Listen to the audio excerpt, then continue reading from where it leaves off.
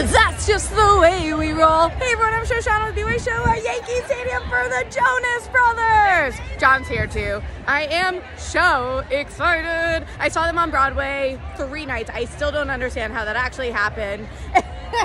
and uh, it's gonna be be so good, or should I say, show good? It's it's actually already burning up for you, baby. I am ready to go back to the year 3000.